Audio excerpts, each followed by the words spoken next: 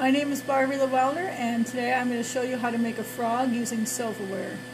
To make your frog, you're going to use four forks and two spoons and you're going to need um, eyes. I use quarter 20 nuts. You can use two small ball bearings or anything else that you can find that'll look like little eyes for your guy. Now starting off, on your spoon I use a marker and I mark the back half. I don't know if you can see that there mark right by the back of the spoon. You're going to use a cut-off wheel and you're going to cut those two spoons off. Save the handles because you're going to use a handle for, one of the handles you're going to use for a tongue. Once you have the handle cut off the spoon, you're going to take your spoon and you're going to take an Air 90. I use a 2 inch Roloc. It's a sanding disc, 80 grit. You take and you're going to round off your spoon.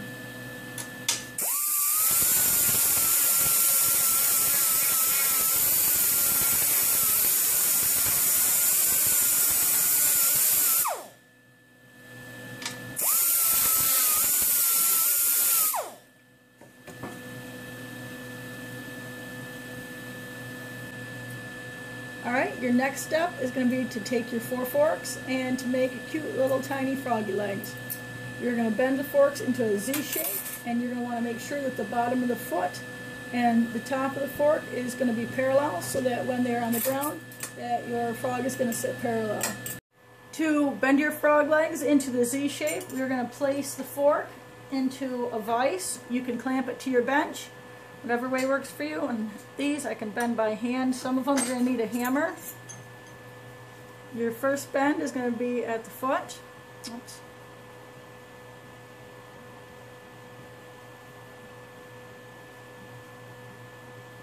And then I use markings on the fork so I can stay consistent.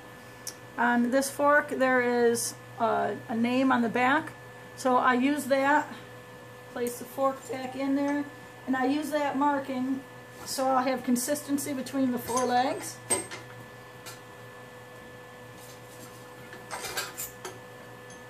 Just take it and bend it until you have your Z shape. Now you're going to want to do that with all four of the forks. Alright, now that we've got the legs all bent up, the next step is going to be to shape the tongue. And you're going to take the cut off piece of the spoon and we're going to shape it you know, kind of a small S shape. This one's a little bit thicker of handle, so I've got to use a hammer to, to bend it.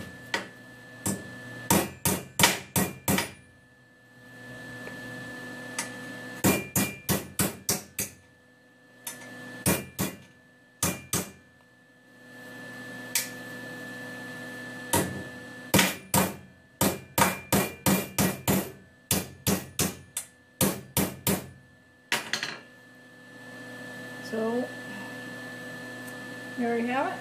We got a little bend in it.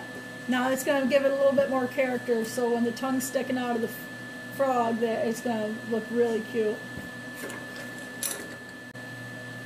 Now that you have everything ready, it's time to start welding. So I start off by taking the two quarter 20 nuts, I hold them in my welpers, and I'm going to weld the two of them together. To put a small tack weld on them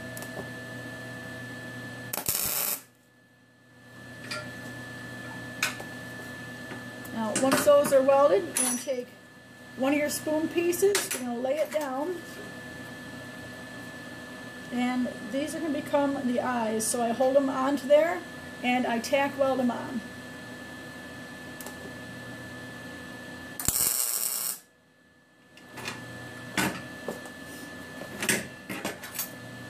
So, now you have the top of the frog's head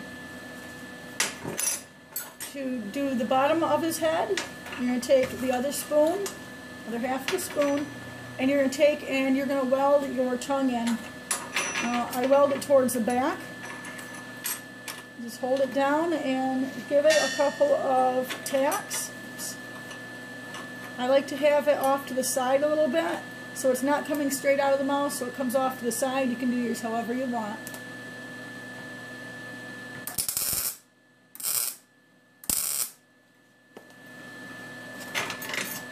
I first weld it in there, it's flat like that. I take it and I like to bend it up just a little bit so that I can have the mouth open. If you can see that. There you go.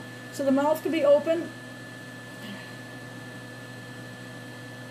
Alright, now you're going to take the top and the bottom and you're going to weld those two pieces together. We're going to try. I'm going to weld them right at the back. I need three hands for this.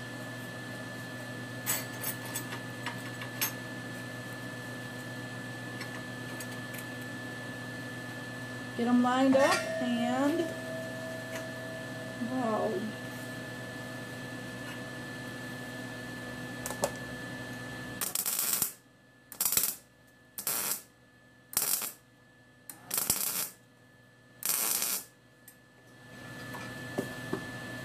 Alright. So there is your frog's head. Now his face, squeeze it just a little bit so his mouth doesn't open as much. But there you go. There is the top half of your frog. Now your next step is going to be to take your legs and weld your little froggy legs together. So I take the back two legs, I'll weld them first. You might need to do a little bending to get them so that they are coming together evenly. I face the legs on the back straight out. And then just uh, do a quick weld together. Once again, three hands are really nice.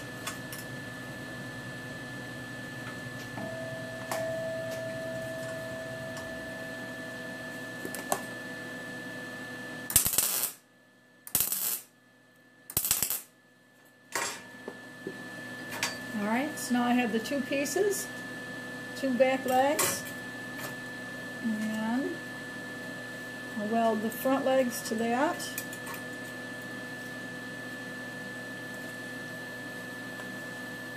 Once again, you might have to bend them in order to get them to all match up.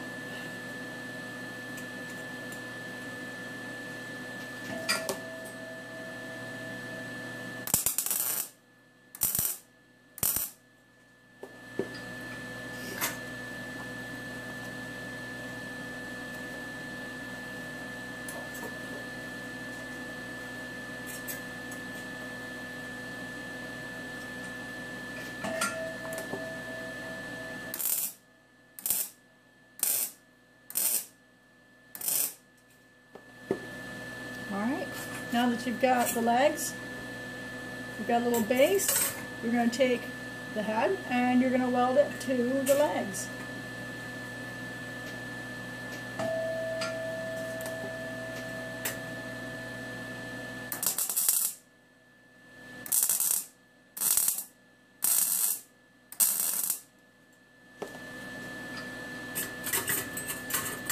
Alright, there you go. You now officially have a frog made out of silverware.